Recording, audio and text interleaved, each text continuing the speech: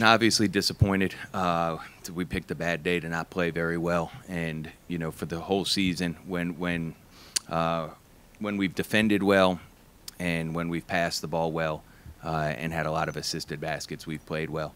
Uh, tonight, you know, obviously giving up uh, 80 plus points, um, not good enough, and and only nine assists. Same thing, just not not good enough, and that's been a, a problem, but uh, gives Central Michigan a lot of credit, and, and they deserve a lot of credit. They played very well. They played, uh, you know, played a good game tonight, and uh, good luck to them moving forward.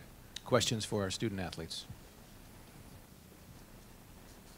Uh, yeah, guys, just talk a little bit. You, you made a strong run there at the start of the second half, and then uh, right as you got the lead there, then you had like three or four possessions with turnovers and missed shots. Just kind of talk about that sequence and kind of losing. I don't know if it's losing focus or just whatever went down uh, right in that segment, kind of put you back on your heels again.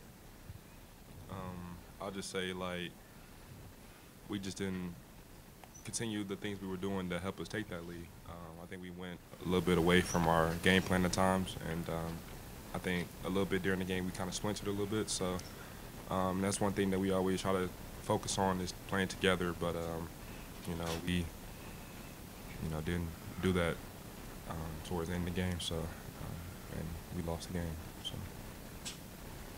Antonio, with this being your first um, season in Kent, how would you, looking back at it now, how, how do you just look back at it like a retrospective in like a couple sentences? I mean, it, it was a great season. Like I learned a lot from the uh, three seniors that I played with, and uh, my juniors that I played with in the underclassmen. It, it was a great season for all of us. I think so. Um, 22 and 10. I think it, that was pretty pretty good. Uh, with the record being 17 and 17 last year, so I think we moved a step up. But I just wish we could have finished it better. Uh, Boo, you just talk about you got some foul issues in the first half, and you're trying to guard those guys, and their guards were able to do some things. Just kind of talk about, you know, did the fouls play a big role, and then just in general trying to guard those guys. Um, it played a big role in the way I, usually guard. Like I pick up a, a real ticky tack foul early with just by touching the guy. So I, I just felt like I really couldn't play how I've been playing all year, and like in one game we just changed it all. So it was it was, it was real different for me, but like I just got to keep my composure and, and adjust. Uh, Antonio, you kind of mentioned already with uh, the senior guidance, but uh, what, what's your relationship relationship in with like with uh, JA in particular?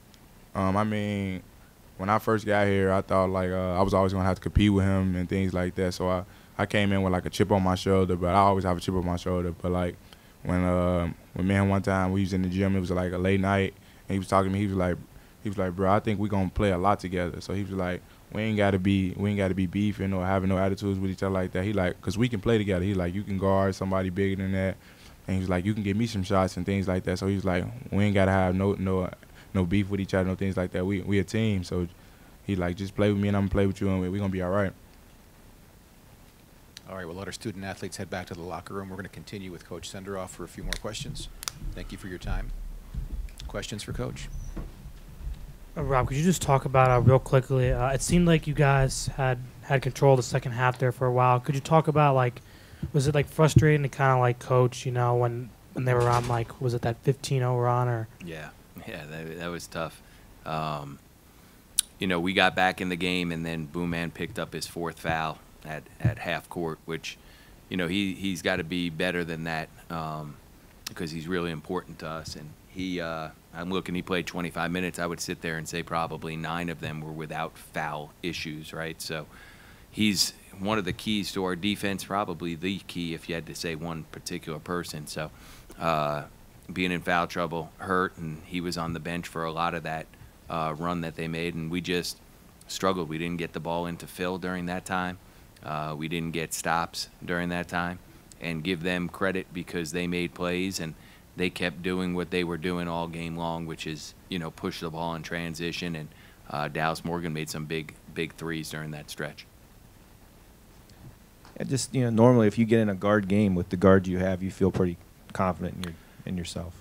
Yeah, chances. absolutely, of course, right, and yeah, because we have good guards, but so do they, and they had two all-conference guards, um, and we have an advantage. And, and Phil played a great game, but we, we knew we had to get the ball inside, uh, and we had to do a great job on the glass. We did a good job on the glass in the second half, but not in the first half. Um, but we didn't do a good enough job defending. Their their guards were able to get in the paint at will. Uh, first half, Roundtree was able to get some threes. We did a better job with him in the second half, uh, but we didn't do a good enough job on Austin or um, or on um, or Dallas Morgan. Yeah, sorry, or Dallas Morgan. And give them credit. They they they stuck to their game plan uh, a little bit better than we stuck to ours. And you know what? In in these situations, that team's the one that advances. Uh, Coach, when Jalen went down, uh, was that some what he had the injury he had earlier? Was it something new that flared up? Yeah, I don't, you know what? I really don't know. He he, I think he just landed wrong, and um, you know he went back in the game. So I think he just landed wrong and was a little worried there And for a second. With that, how much of Jay's ankle affected him today too? You know, it's hard to say. I, I can just say that he's not been 100% since he got hurt. Um, he's also had some good games. You know, he, against Akron, he played great. Um, so I don't know. You'd have to ask him that question. I really don't know. I could just tell you that he's not. Since he sprained his ankle and, and you know, landed, it was a high ankle sprain. You know, if it was earlier in the year, maybe he would have missed another week. But he was a senior. He wanted to play against Buffalo, uh, which is when he came back you know, again, maybe played too many minutes that night. I, I don't know. I can tell you he hasn't been 100% since then, but I don't think he would use that as a crutch for why he didn't shoot the ball well tonight.